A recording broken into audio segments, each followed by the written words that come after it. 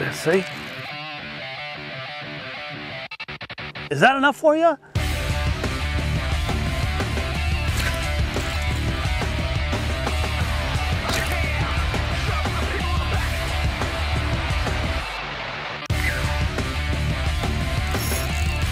Da, da, da.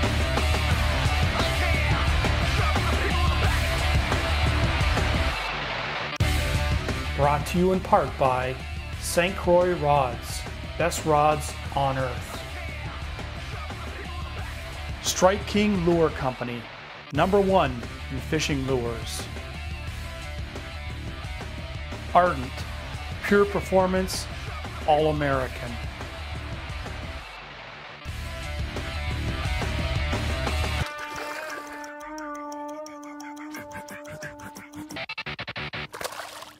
This week on Extreme Angler TV. Like that.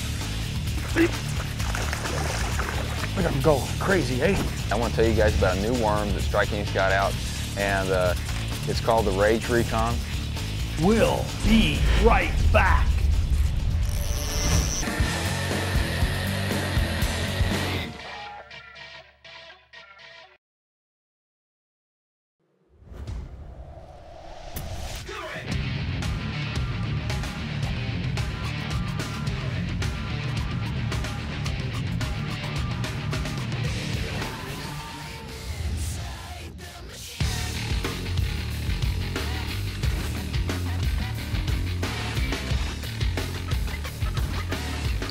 Come out, come out, wherever you are.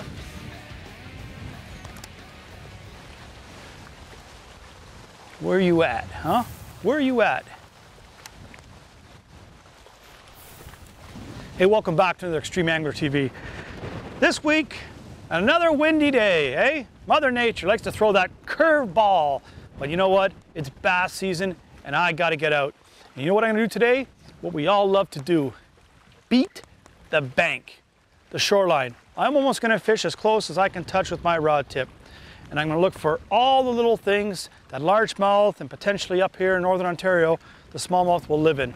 You know, one thing about these areas up here, the smallmouth live in the same spots as the largemouth. You know, uh, cane beds, pads, and that kind of stuff, floating rafts even. But I'm gonna do docks, trees, arrowhead, overhanging trees, you name it. I'm gonna throw my soft plastics because sometimes when I work these shorelines and things you wanna do off the bank, your focus is on this kind of stuff, pads, milfoil, docks, and things like that. But pay attention. Don't just do that kind of stuff. Look how the contour and edges move. Is there a rock? Is there a tree going out? Different things. I guarantee you, if you pay attention to the little things off the bank that make a big difference in catching more and potentially bigger bass. But you gotta pay attention, use the right rod and reel, heavy line, put it in, focus on what you're doing. You do that, and I guarantee you, the bank will be your best friend. Man, man, man, man. Mother Nature throws a curve at you. You gotta find shoreline bank that potentially has fish, then you can fish without busting up your boat. But you got trees like this with overhang and bushes. You got some logs down here and weed. It's everything that potentially can hold a largemouth. They're like lazy dogs. They find those little spots that just sit and chill. Something comes by, boom, come out and eat it. Little largemouth. Little largemouth sitting at the back. Yeah, you just need to be woken up. That's what will start my day. On a windy little morning, yeah, he was caught before. Look at that. Somebody else let him go. But he's a start to my day. Look at him. Just goes to show you, huh? You break the bank, get up along the bank, you're gonna find fish. You know, there's so many different ways to catch largemouth bass, but one of the most fun ways for me is on the shoreline, right against the bank. And I know people say it's, you know, it gets hit a lot, everybody does it and stuff, but you gotta learn to dissect the stuff, what to throw to, follow the shoreline. Don't just have your focus right on the bank. Look around you. Is there rock? Is there weeds? Is there trees? Things that pull out? But if you go along, put that trolling motor down, pick up the right baits, soft striking, perfect plastics. I guarantee you, you're gonna catch fish if you keep at it. That's the key, keeping at it. Don't just give it up and think about, well, I'll try something else. Go along the bank, if it's got cover, if it's got structure, things that fish can hold to, artificial and man-made, uh, natural stuff, you're gonna catch them on the bank. Let's keep going. On these northern lakes, you never know what you're gonna hit, largemouth or smallmouth. And that's the beauty of these smallmouth because they live in the same areas as the largemouth and they eat the same baits. Let's go. Boy, look at these little bushes and you think to yourself, it's too shallow. I guarantee you, if there's enough water be on top of that fish's back, could be a largemouth. That's the beauty of just hunting them down along the bank. They can go into almost any nook and cranny. And if you're man enough to put your bait in there and patient and keep doing it, you're gonna catch them.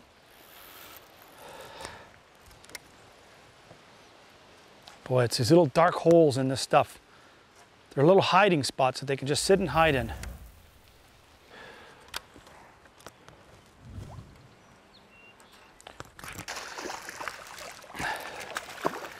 Sitting in arrowhead. Look at him. The fat little guys. Sometimes you just gotta hunt them down, you know? He's got it right in the bottom of the chin. Bad spot, look at that. Almost through the tongue. Just a fat little guy. But it's all about hunting them down, looking for different obscure spots. It's summertime and you want to go bass fishing. You got to have different baits tied on if you want to fish the real heavy stuff like this. It's, you know, it got some sparse cover, but the thing is, the stems are hard, heavy, and those bass sometimes can be the same way. So you got to use the right gear, the right line, hooks, everything. Match your equipment to the conditions you're fishing. All I'm going to do today, like I said, is just hunt down the largemouth in particular areas. Could be docks, arrowheads, cane, and things like that. You get on a different lake, you get on a lake, hmm, you get on a lake and you just want to try to catch some fish. Sometimes, you know, you pick a specific pattern and stuff or a specific cover. That's not the way to do it. Sometimes it's got to be a Heinz 57 junk fishing. A little bit of this, a little bit of that. Let's keep going, see if we can get some good ones. Why wasn't the fish in here? This looks too good. Arrowheads, pads, cane, everything's here. Good cabbage right here. Hey, smallmouth sitting in the same stuff the largemouth do too, eh? Look at them. Look how tough. Tell me these aren't fun to catch, eh? Look at them. Look at them fight. What a scrapper, eh? Come here, you. You ready to come in a boat? Wow, look at how tough. Look how tough. And nice one too, eh? Nice fish. Hold on, you. Hold on. That's how they do it right there. Look at that hooker right through there. X point. Killer, eh? But see what I mean? Just a nice chunky fish. Not a bragging size fish, but a fun fish. On a junky day, I call it. Fishing the junk. Docks, cane, arrowheads, pads, isolated grass, and getting smallmouth and largemouth. Ready you? Look at you. Whew. Give me a splash for the camera too. I'm just gonna go along. But when you decide to pick up saw plastics and you're fishing the junky stuff, you know what? Go with patience. You know, you got to dissect things. Look for potential fish holding areas. Now, not just always the docks and the rear visible stuff, but out here a little bit. And as soon as you come off the shoreline from three to six feet, it just drops off and there's some sparse weed. Sometimes that's all fish need to hide, especially bass. Let's re-rig, get back at it.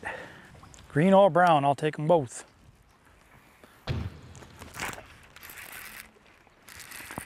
Oh, gone. See that? He was in there, gone. In that messy stuff, huh? Wow. Real good. Boom. You got to set hard, hopefully pull them out, but sometimes they just come off. It's just the way it goes. Re-rig that rodent, put it back in. Hopefully this time the hook finds the meat.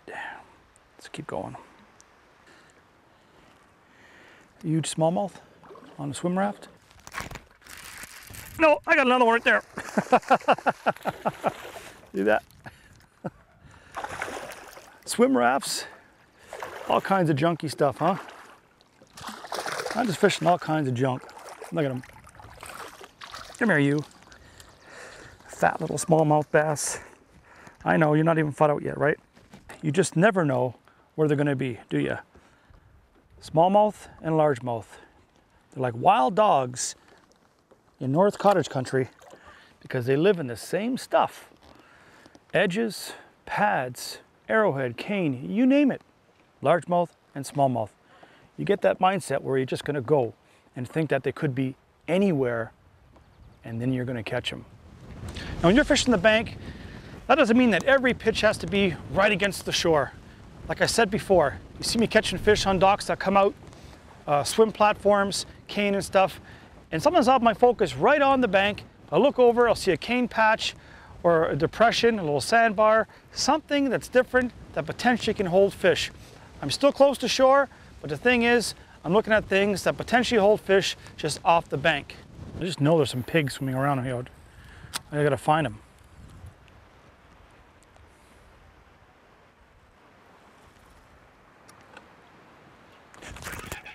Like that. Look at them go. Crazy, eh? Crazy brown bass. Sitting in the same stuff that the largemouth are. Thinking that these rodents are crawdaddies, aren't you? That's what you're in here for, eh? Smallmouth bass. Let's get them back in that cool water. Ready? Go on. See that? Just as healthy. Coming out here, fishing this stuff too. Looks like junky stuff, but it's stuff that the smallmouth come in to feed on. So the largemouth. But I'm just going along, working it slow. Hi, I'm Denny Brauer. You're watching Extreme Angler TV, and we'll be right back.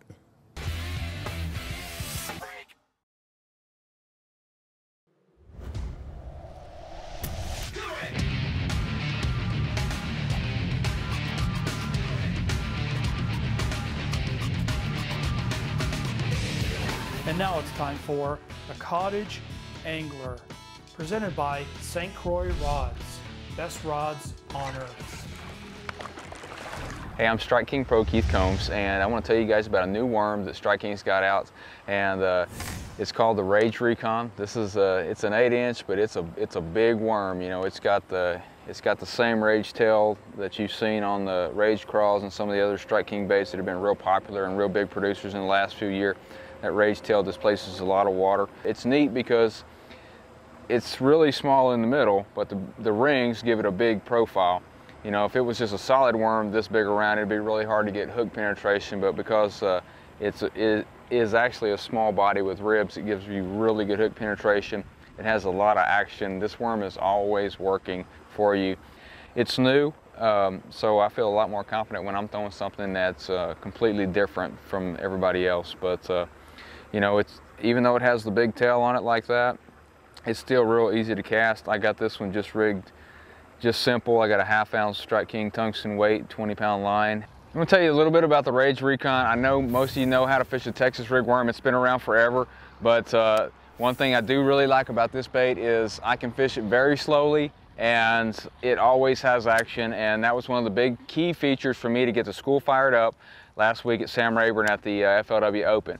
But uh, you know, basically keeping the bait on the bottom, and like I said, it's always got action. I was fishing it through brush piles and, and over sand drops, and I fished it two different ways really, and, and, this was actually, I think, a big key in me catching a couple bigger fish, was I always fished it really slow, you know, just, just dragging it along the bottom, feeling, trying to feel everything. That makes me fish the bait slower.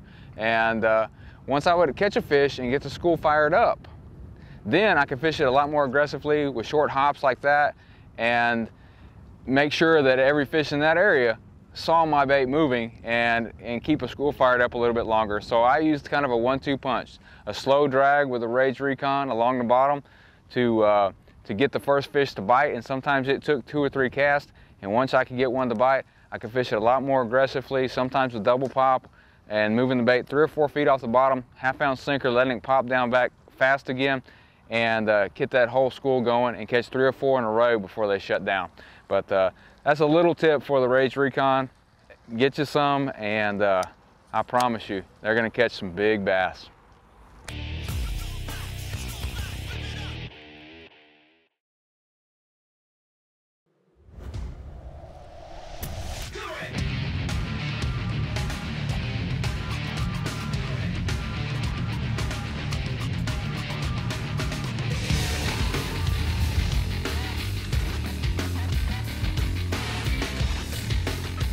Look at that.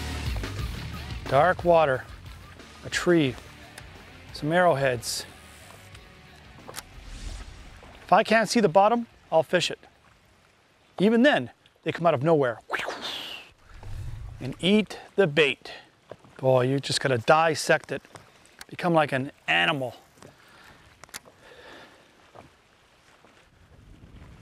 The predator looking for Mr. Largemouth.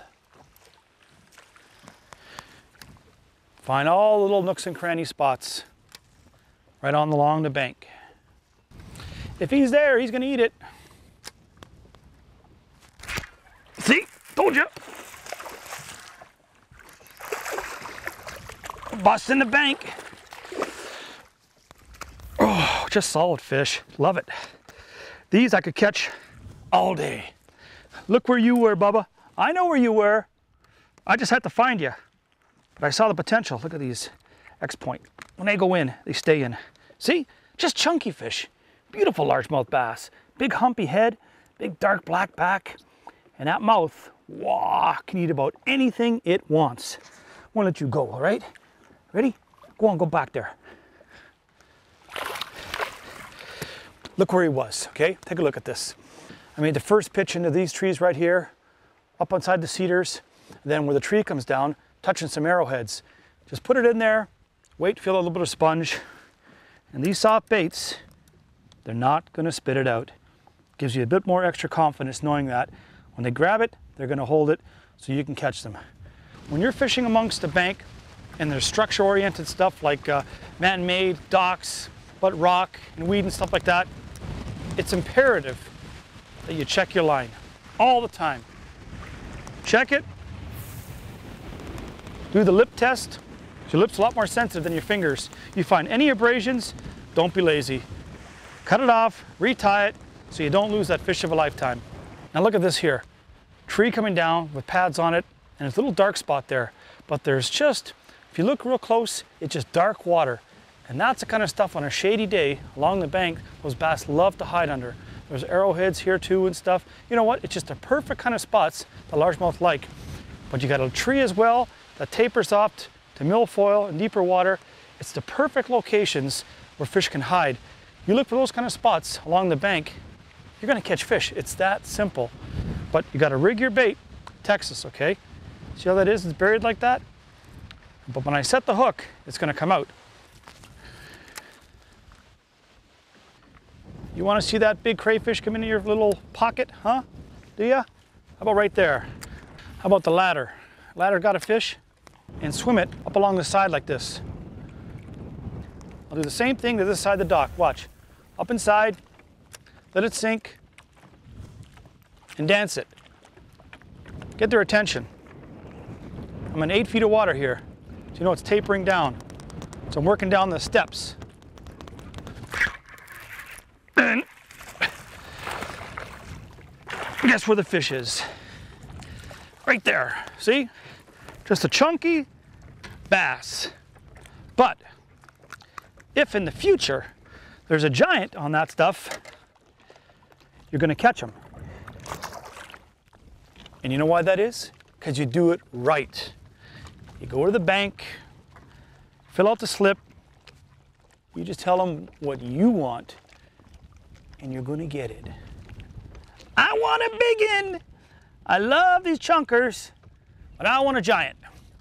Now today I was using that 7-1 medium heavy action St. Croix Legend Tournament bass. And I rigged it with uh, 20 pound fluorocarbon, 4 rod, X point, and the sliding tour grade tungsten weight. Now I had it in that blood red color. You know why? A lot of crayfish and rock and stuff. You saw I got a few smallmouth and a largemouth. But the focus for me is that red. They see that red, it just sets off on that sun, a little bit of a metal flake and stuff. It just something that might trigger a bite. 7.5 feet. In this shoreline, it's got rocks tapering down and the weeds out here. So I could pitch up inside that stuff that's potentially can hold fish, or I can fish the ledges and edges off the bank for more and bigger fish. So it's not always just, okay, you're gonna fish the bank. Yeah, I call this fishing the shoreline because the shoreline within a rod distance away from where our boat is. But I mean, if I'm looking at stuff and seeing it only about three inches of water over there, and I see it tapering down with rock, arrowhead, weeds, I'm looking at my sonar and seeing an edge, got a pitch there too.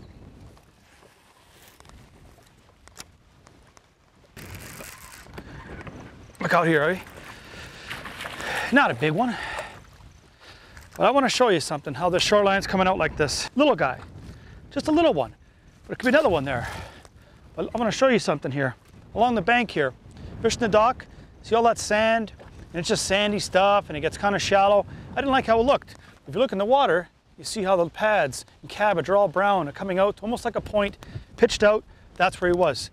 He wasn't big by any stretch imagination, but until you put it out there or read the bank, you're not going to catch him.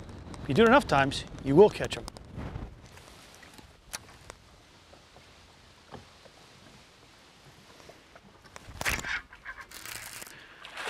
Hey, just a decent fish. Pull him off the other side of the dock. Just another chunky fish. See? But that's what I want to fish for today. Largemouth bass. Whoa! On the bank, boy! You got attitude. That's why I like you. Go on. You go and you throw, and you're going to catch them. But you work it and work it. You look at your surroundings all the time. You know, I say it all the time, and you say, wow, he keeps repeating the same things. But repetition leads to perfection. And if you keep doing it on different lakes, your lakes that you fish, you're going to catch fish. Look at what the fish can possibly hold on. Ladders on docks, small boats, but watch for the contour edges. Sometimes it could be two feet from shore, sometimes 15, 20. You do those things, you are going to catch them. When you see flags like that flying in the wind, you know it's almost time to say goodbye until next week on Extreme Angler TV. Thanks for watching, and I hope that next time you go to the bank, you get a big windfall with all kinds of largemouth and smallmouth bass in your account with the right baits, right tackle. Thanks for watching. We'll see you on Extreme Angler, maybe on the bank, way out in the weeds next week. Come on, Mama Nature! Is that all you got? Give me some more! If you want more Extreme Angler, go to our website, extremeanglertv.com, and I'm sure you'll find us on all your popular social networks, YouTube, Twitter, and Facebook, because I know you're gonna like us.